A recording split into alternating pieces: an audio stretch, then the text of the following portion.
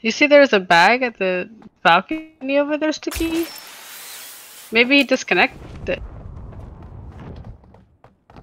Yeah, I think he did. We didn't kill this guy, so.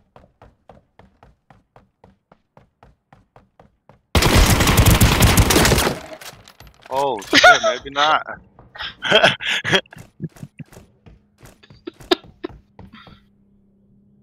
Arkham.